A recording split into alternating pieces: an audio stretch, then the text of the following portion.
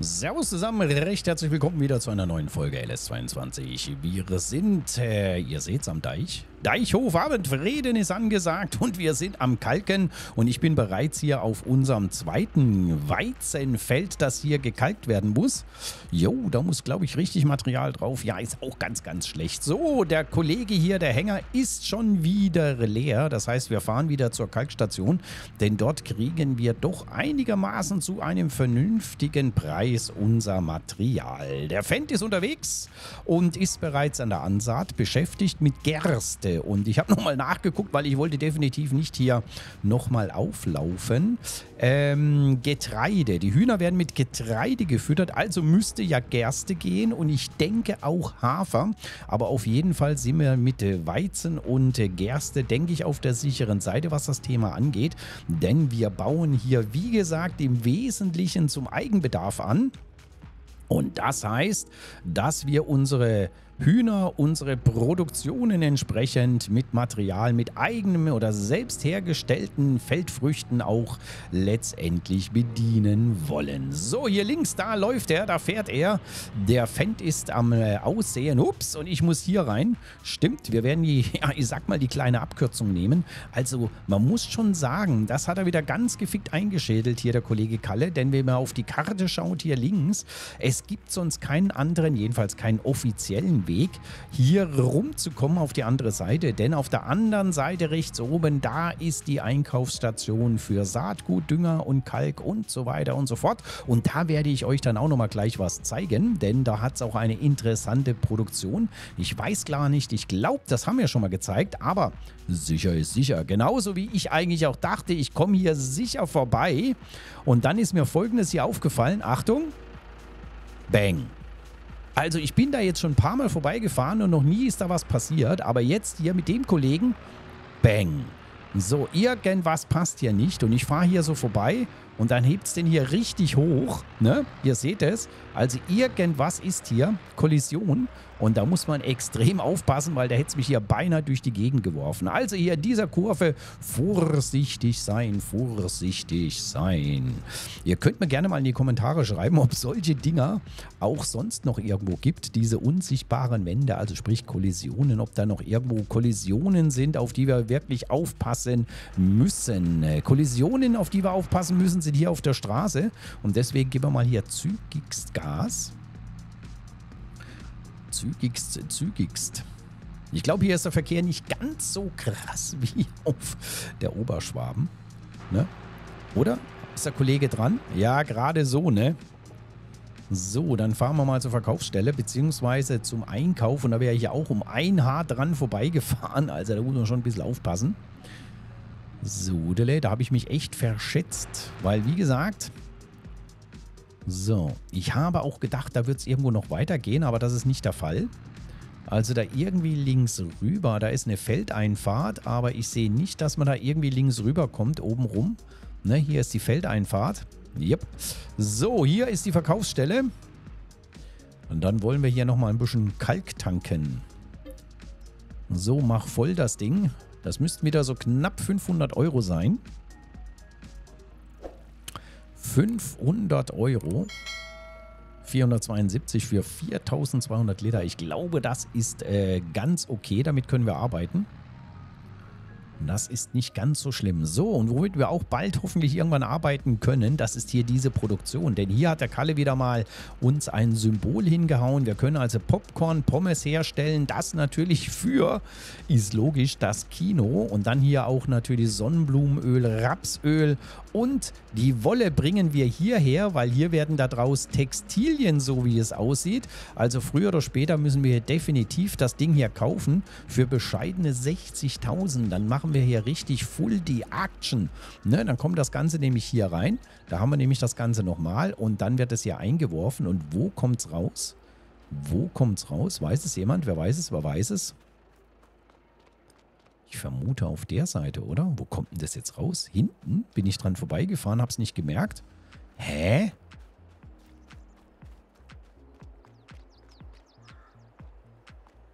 Also hier wird abgeladen. Äh, irgendwo wird es doch dann ver... Ach, hier. Okay, alles klar, danke. So, wir wollen weiter, denn es gibt noch viel zu tun. Ich bin da gespannt. Jetzt müsste doch gleich der Fenster sich melden, so gefühlsmäßig. Waren das doch höchstens nur fünf Bahnen? Ah, man sieht es wieder nicht. Okay, raus. So, und wie gesagt, mal schauen, ob wir da irgendwann mal so einen kleinen, ja, Zwischenweg bauen oder sowas. Hier vielleicht zwischen Feld 10 und 9. Wenn wir die mal gekauft haben, können wir da eventuell eine Straße, einen Weg basteln, damit wir dann das doch ein bisschen direkter haben, um da hinzukommen. Aber ist ja zum Glück nicht die Oberschwaben, wo man ja eine halbe Weltreise machen muss, um zum Händler zu kommen. Ne? Also das ist hier alles noch gut, gut, gut machbar im Singleplayer. So, hier geht es jetzt rein. Ein bisschen auf die Bremse. Und oben dann wieder gut, gut aufpassen, Freunde. Ne? Also, Kollision, schön hier in der Spur bleiben. Nicht zu sehr nach außen drängen lassen in der Kurve. Besser etwas schneiden. So, jetzt fahren wir hier ganz vorsichtig. Ja. als wir hier die Aufträge in der, ich glaube, das war die vorletzte Folge, als wir die Aufträge gemacht haben, die beiden Ernteaufträge, bin ich ja hier mit dem New Holland auch vorbeigepäst, aber da ist mir nichts aufgefallen. Also da, entweder habe ich es da genau passend hingekriegt, ich weiß es nicht. Aber ich bin mir relativ sicher, dass der Fendt hier durch ist. Das heißt, dann können wir den Kollegen schnappen und dann auf jeden Fall rüberfahren. So, sieht gut aus. Das sieht soweit gut aus, aber klassisch. ja, das macht die irgendwie. Aus welchem Grund auch immer. Irgendwas stimmt hier nicht. Da bleibt immer so ein bisschen was übrig. Ja, das hat sie hier auch gemacht, glaube ich. Ja, okay. Aber mein Gott, damit können wir leben. Dann haben wir da halt diese berühmte Individualität. Ich habe ja schon mal, glaube ich, auf einer anderen Map, ich weiß jetzt gar nicht, Alteiche oder wo wir auch diese Köckerling haben. Ich bin mir jetzt gar nicht so sicher. Aber das ist dann halt so unsere persönliche Note. Was habe ich dann in die Kommentare geschrieben? Da lassen sich dann auch unsere Felder leichter erkennen von oben. So, das Gras müsste ja... Augenblick, Augenblick, Augenblick. Stoppen mal. Gras ist im Wachstum. Ja, da ist der pH-Wert ganz okay noch, interessanterweise, aber da müssen wir düngen. Also pH ist hier noch nicht ganz so wichtig. Das heißt, wir kümmern uns in erster Linie natürlich um unser Getreidefeld. Dass wir da die Gerste drauf bekommen und dass wir da einen guten Ertrag bekommen, denn die Felder auch das ist wieder so ein bisschen wie auf der Alteiche, sind im Großen und Ganzen nicht äh, bei 100 Prozent. Ne? Also die meisten Felder sind niedriger als 100 Prozent, gerade die Felder hier im Norden. Im Süden der Karte geht es etwas besser. So, wir müssen... Ach, da hat nur die zwei Bahnen geschafft. Erstmal aufklappen. Ja, ich habe so das Gefühl, wir werden nochmal Kalk holen müssen. Ja, ich glaube, den Kalk, den wir am Hof haben, den lassen wir mal in Reserve. So. Okay. Und dann müssen wir mal schauen, wie er da oben damit umgegangen ist. Ab die Post. Lass den Helfer arbeiten. Wir gehen zum Fendt. Motor an. So, wir schauen mal aufs Kärtchen. Wir schauen aufs Kärtchen. Aber es sieht eigentlich gut aus, ne? Es sieht gut aus. Er hat auf jeden Fall gut ausgebracht. Wie sieht es damit aus? Okay. Da müssen wir natürlich jetzt einiges tun. Das ist richtig. So. Mhm. Grasfelder mal anzeigen. Ja, im Wachstum. Ja, und müsste gewalzt werden, aber das schenken wir uns erstmal. Die Walze ist wieder so, ich sage mal, wenn wir wieder genug Geld haben, denn die, die 96.000 da oben, die sind natürlich trügerisch, denn das ist alles nur geliehen. Also wir sind im Moment im Minus, das heißt, wir müssen schauen, dass unsere BGA bald zum Laufen kommt und dass wir da dann ordentlich arbeiten. Ah, hätte ich Bock hier links dieses Maisfeld zu häckseln. Wie hätte ich Bock, dieses Maisfeld zu häckseln? So. Dann bringen wir den Kollegen auch schon mal in Position, in Position.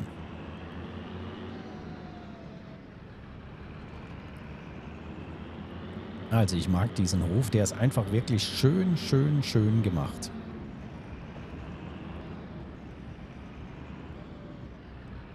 So, der Fendt, der zieht echt was weg, ne? Muss man schon sagen mit der Köckerling, da ist der wirklich gut unterwegs.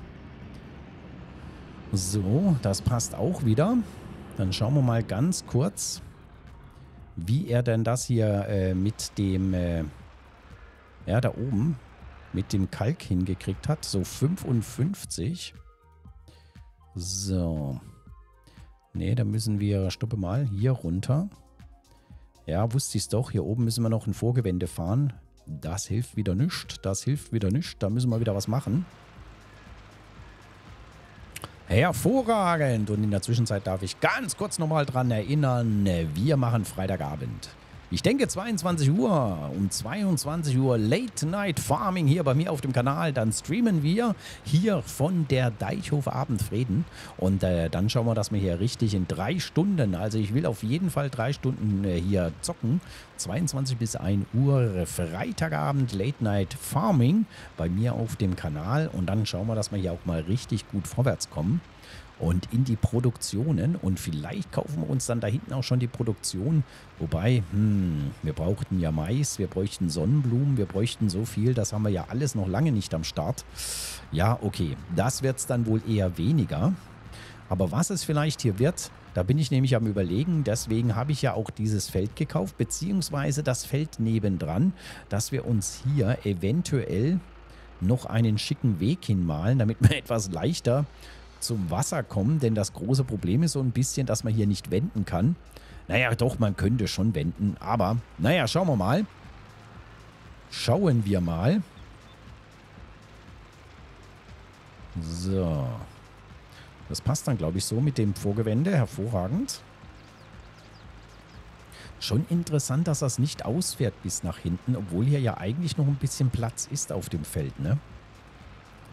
So, dann lassen wir den hier die Richtung laufen. Ab die Post. Und dann in den Fendt. So, jetzt überlege ich gerade. Ja, da könnten wir wenden. Da machen wir ein schönes Vorgewende.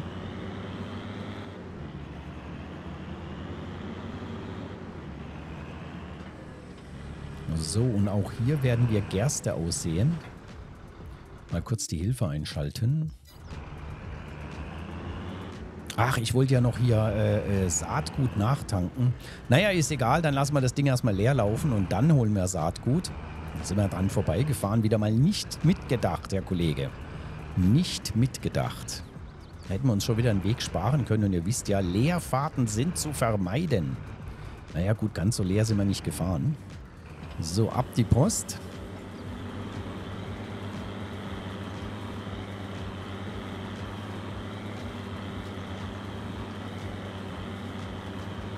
Ja, interessanterweise fährt er jetzt da vorne auch nicht bis ganz ran.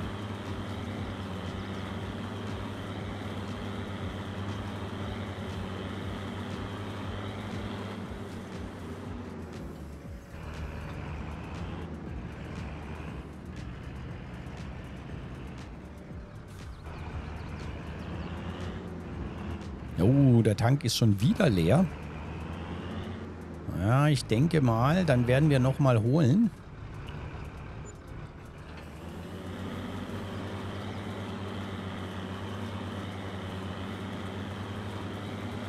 Dann werden wir nochmal Kalk holen.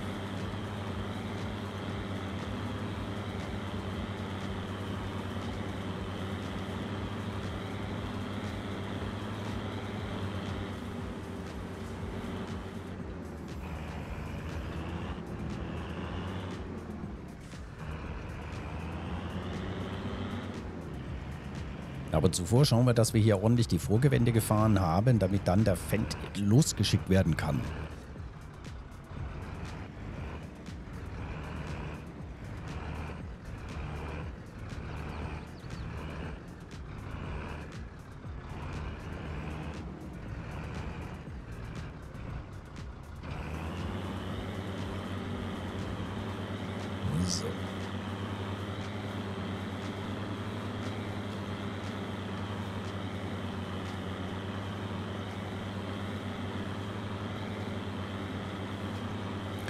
Upsala, so.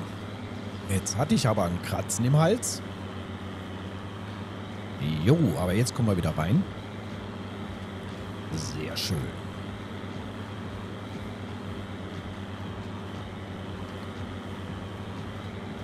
Ja, dann schauen wir, dass wir da vorne auch noch zwei Vorgewände ja, oder ein Vorgewände. Hm, wir können ihn eigentlich auch fahren lassen und dann machen wir das Vorgewände später. Ja, machen wir so. So. Hinten die Klappe zu und dann geht's los. Hat der wieder... Ja, Allrad, das schalten wir wieder aus. Wir fahren mit dem Lindner dann auf der Straße, lieber nur mit Vorderrad. Nur mit Vorderrad, aber wir könnten auch mal Folgendes ausprobieren. Dann schauen wir mal, ob er mit dem Helfer. Das würde mich jetzt mal interessieren, wenn wir vorne an der Straße stehen, wo er oder wie er mit dem Helfer fährt. Das könnten wir doch jetzt auch mal checken.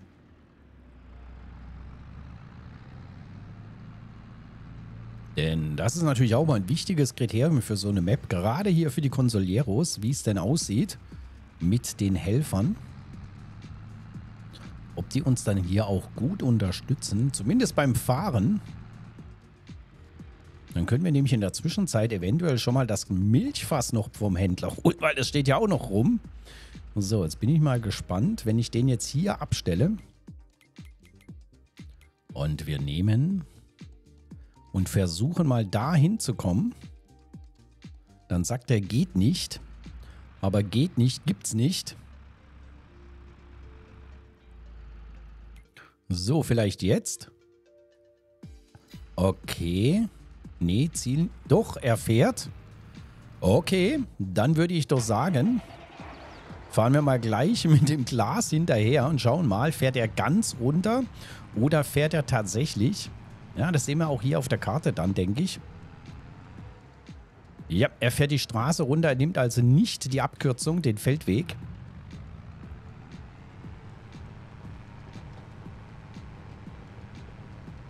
So, das heißt, dann werden wir ihn auch gleich zu sehen bekommen.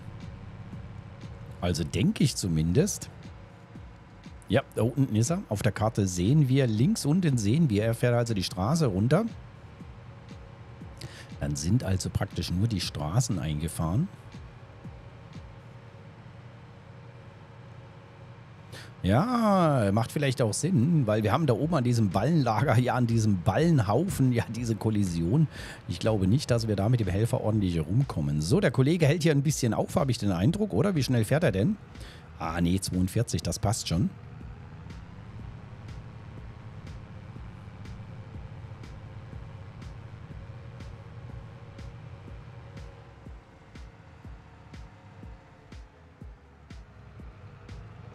So, Mais bräuchten wir für Popcorn. Kartoffeln bräuchten wir für Pommes. Die Öle sind eigentlich, glaube ich, nicht für den weiteren Verkauf wichtig. So, das macht er sehr gut.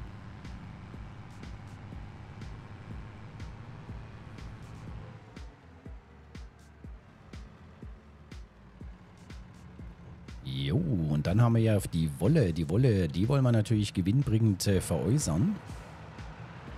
Da würde mich mal interessieren, wo man die dann verkauft.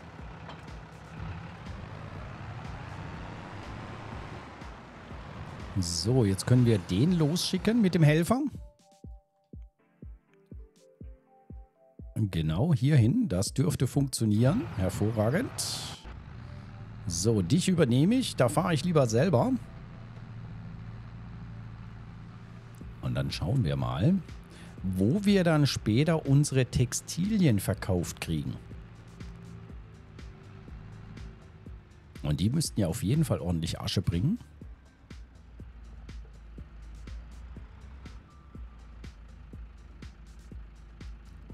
Okay, nochmal voll machen bitte. So, wo kriegen wir Textilien verkauft? Unsere Klamotten.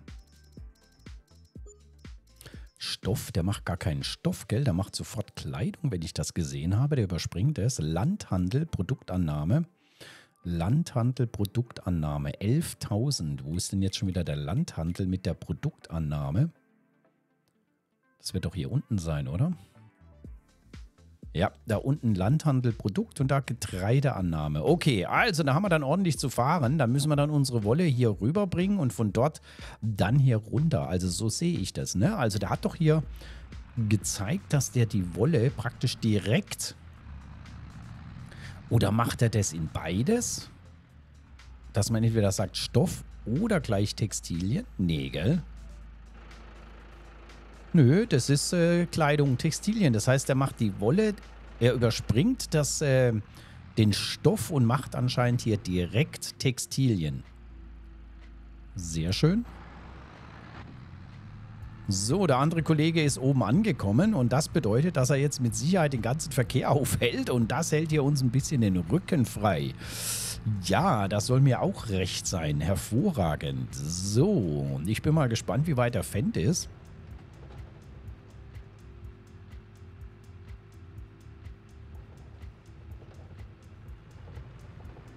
So, geht's hier schon rein? Nein, noch eins später. Hier geht's auch zu einer Verkaufsstelle. Hier ist ein Parkplatz und hier müssen wir jetzt rein, um wenigstens ein bisschen abzukürzen. Also hier werden wir noch sehr, sehr häufig langfahren. Ich muss mir auch überlegen, ob wir eventuell, ja, ich glaube, wenn wir es halt abgefüllt holen mit dem Anhänger, das Saatgut und den, das Düngemittel, dann werden wir auf jeden Fall günstiger fahren, als wenn wir mit den Paletten arbeiten. Und das heißt, da bietet es sich eventuell an, dass wir noch eine Füllstation... Hm. Müssen wir mal schauen, wie wir das am geschicktesten hinkriegen. Aber da würde ich halt gerne einmal hinfahren und das Material holen und dann irgendwo bunkern. Ich müsste mal schauen, ob das natürlich auch in unser Multifruchtsilo passt. Das wäre natürlich auch gut. Dann könnten wir natürlich Saatgut und Düngermittel auf jeden Fall im großen Stil organisieren. So, Freunde. Da steht die. Da steht die große, große Schlange. Okay. Ja, da hat er natürlich gleich mal beide Richtungen blockiert.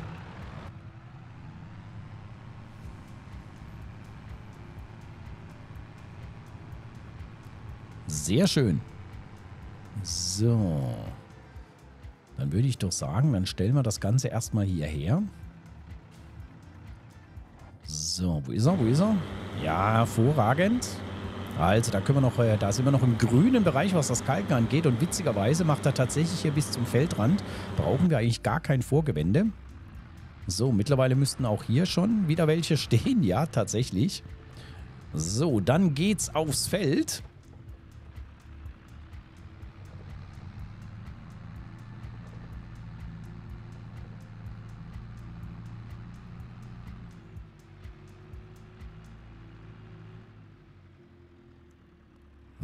Sudele.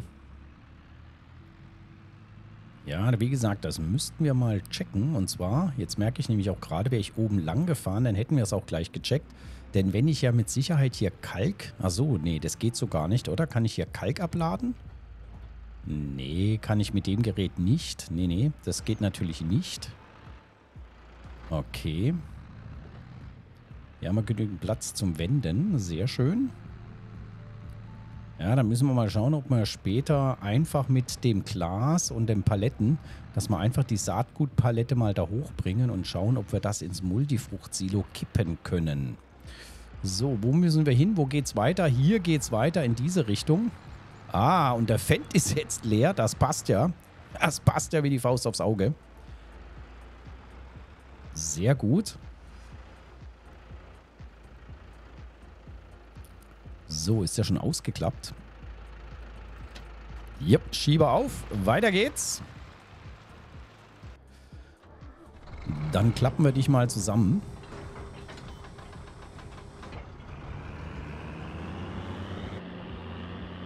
Und dann mal vom Feld herunter und nochmal Saatgut getankt. Können wir schon mal hinten aufmachen.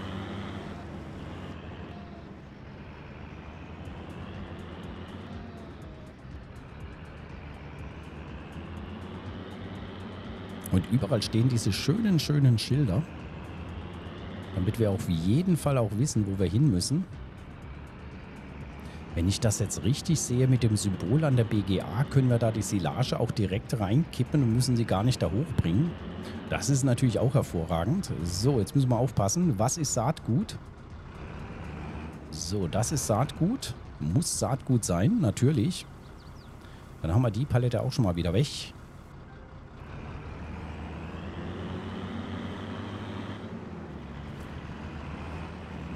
So, da haben wir leider keinen Weg, um zum Feld zu kommen. Da müssen wir jetzt wieder hier wenden. Mit dem großen Gerät müssen wir auf jeden Fall einmal hier rumfahren.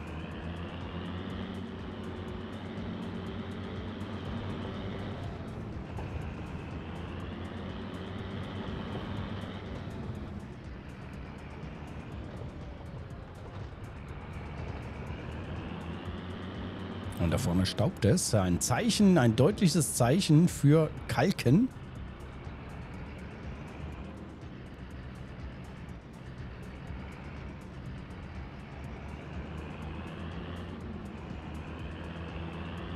Wird er nämlich auch gerade fertig. Das ist sehr gut.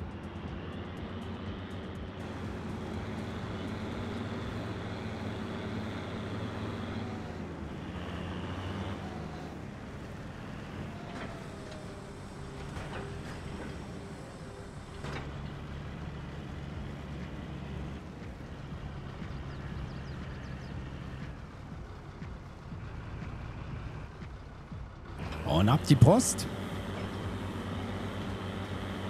Und ich denke mir, wir fahren jetzt doch mit dem Glas mal noch schnell ein bisschen Milch holen. Das dürfte ja eigentlich gehen. Und dann bringen wir nämlich die Milch noch in die Produktion. Dann schauen wir mal. So, muss ich hier durchfahren? Wo kriege ich denn jetzt die Milch? Da muss ich hier durch, oder?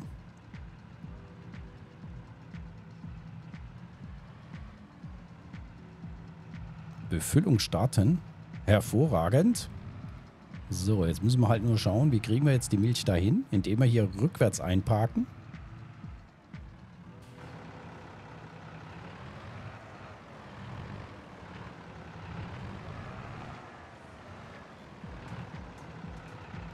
Und ab die Post.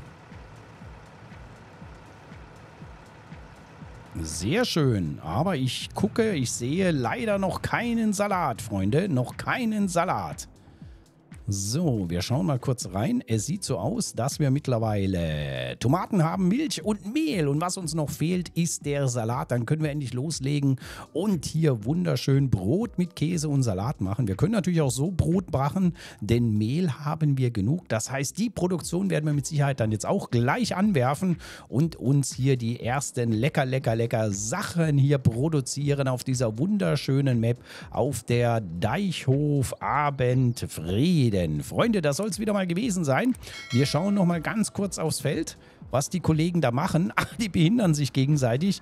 Das war ja klar, das war zu erwarten. Der andere hat dann aufgehört. Das heißt, den tun wir noch schnell aus dem Weg bringen. Schön, dass er blinkt. So, der Motor ist an. Jetzt müssen wir aufpassen, sobald ich hier rückwärts setze, wird der natürlich nachfahren. Na, was ist los? So, komm. Sehr schön, hervorragend. Wir machen zu, den Deckel und das Gefährt kommt dann darüber und dann stellen wir es erstmal aus dem Weg. Hervorragend. So, ich bedanke mich recht herzlich fürs Zusehen hier auf der wunderschönen Map und äh, sage wieder mal bis zum nächsten Mal. Tschüss, ciao, cheerio, euer Badenfarmer.